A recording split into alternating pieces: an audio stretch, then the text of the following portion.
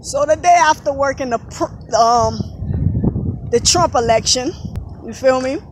I was walking to come sue their ass for what is it? Wrongful um what is it?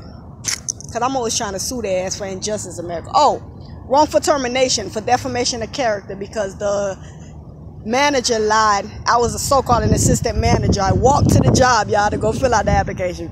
So she claimed that I quit the job. So I was looking for that courthouse. You know, I'm not from West Palm Beach.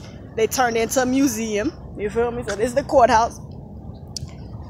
So I said, you know, I'm gonna let that go. But then the white lady just told me as I went to go buy some um some cologne that I'm not welcome in Family Dollar. Y'all got it on camera, IG. because of that lady, because I used to open and close that goddamn Family Dollar, wake my grandma out of her sleep because of that lady, Family Dollar, I'm coming for you.